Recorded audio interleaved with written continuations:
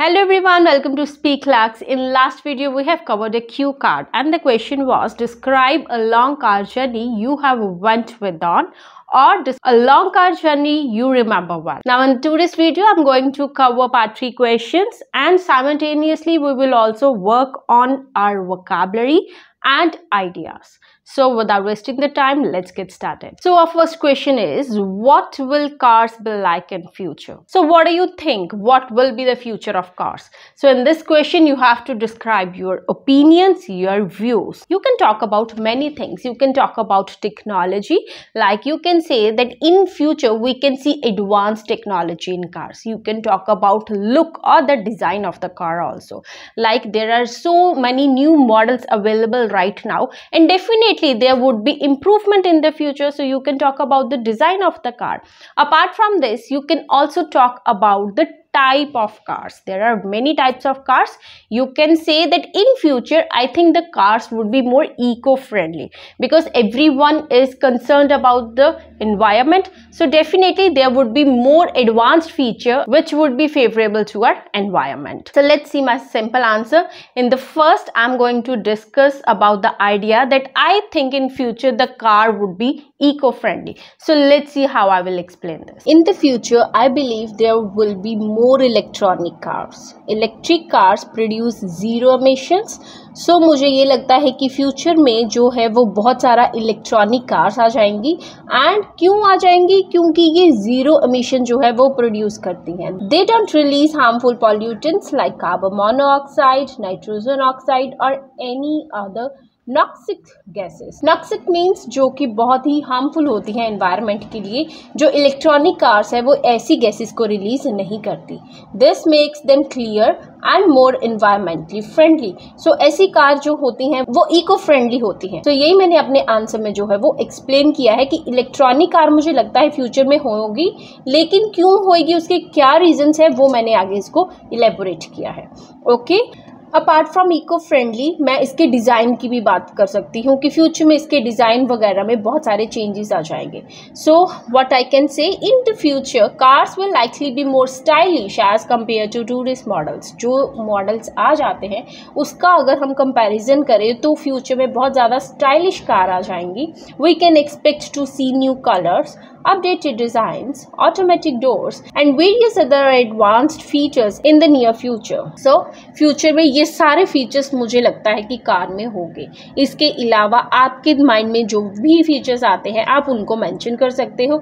सो so, उन features को आप टूडे के मॉडल्स के साथ कंपेयर कर सकते हो और आप बोल सकते हो कि ये जो चीज़ें हैं ये अभी नहीं है बट मुझे लगता है कि ये फ्यूचर में बहुत ही ट्रेंडी होंगी।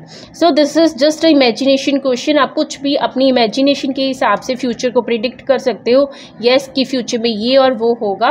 And then you just need to elaborate that point okay now next question is what is the difference between men's and women's preference on the car so when you will address this type of question the differentiation then you should emphasize that gender is no bar. Both want convenient and comfortable car, which should be depends upon many factors like affordability.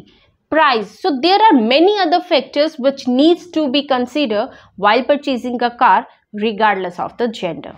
Let's see how I can explain this. According to me, gender is just one of many factors influencing an individual's choice of vehicle. मेरे according gender एक just एक factor है individual की choice को influence करने के लिए.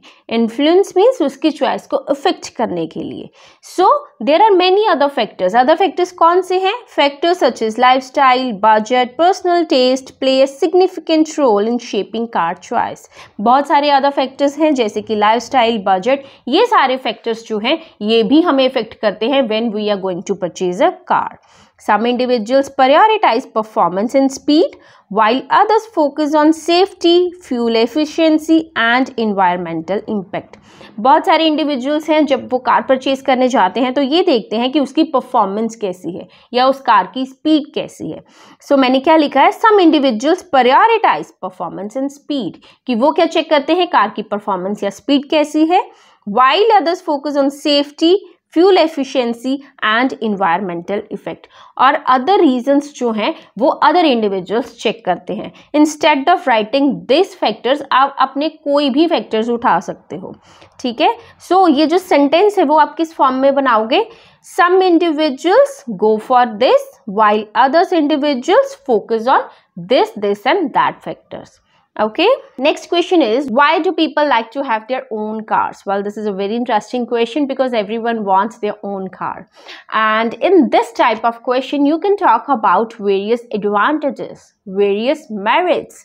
Because of that advantages everyone wants their own car. And at the end you can say due to these advantages or merits or benefits everyone wants own car. Let's see how we can elaborate this answer people like to have private cars because they have numerous benefits बहुत सारे benefits है अगर हमारे पास हमारी private car है।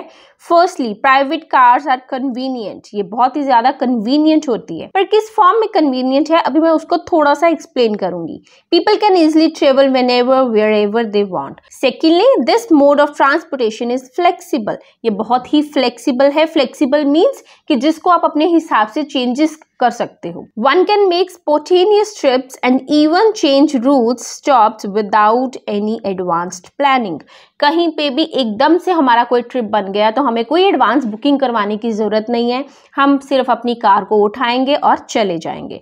So this is a very flexible mode of transportation okay Finally, private cars provide privacy. People can have personal conversations, listen to music or make phone calls without the presence of stranger.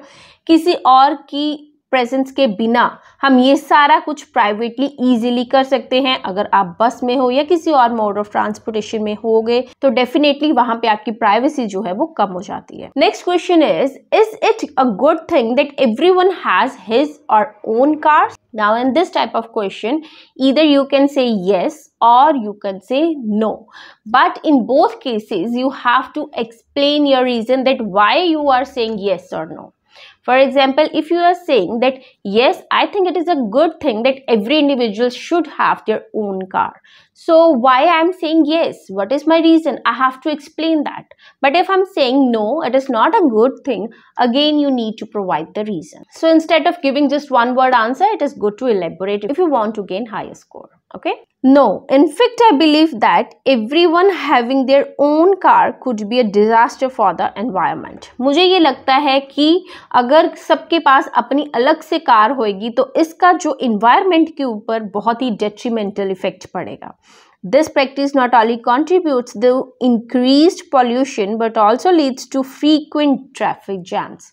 Pollution तो बढ़ेगा ही बढ़ेगा पर उसके साथ ही traffic jam जो है वो बहुत ज़्यादा इंक्रीज हो जाएँगे Instead, the concept of one car per family is a more sustainable idea. तो हमें क्या करना चाहिए? हमें वन कार पर फैमिली का जो आइडिया है मच बेटर है instead of having one car per head people should be encourage to share vehicles लोगों को वहीकल्स को शेयर करना जो है, वो सिखाना चाहिए। Sharing can have numerous benefits not only for the environment but also for reducing congestion on road learning to share resources will benefit everyone so यहाँ पे अब मैंने इसका थोड़ा पॉजिटिव पॉइंट रखा है कि वन कार जो है वन पर्सन के पास अगर होगी तो मैंने पहले तो बताया कि इन्वायरमेंट के ऊपर बहुत असर पड़ेगा सो मैंने इसका आंसर नो रखा। लेकिन मैंने अपनी जो व्यू पॉइंट है कि अगर आप ये वाला मेथड नहीं ऑप्ट करते तो आप उसके अलावा और क्या कर सकते हो? आप शेयरिंग लोगों को सिखा सकते हो। शेयरिंग के क्या बेनिफिट है? मैंने वो भी इस आंसर में कवर किए हैं।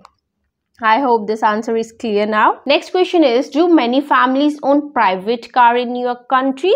Now, in this question also, either you will give yes or you can say no.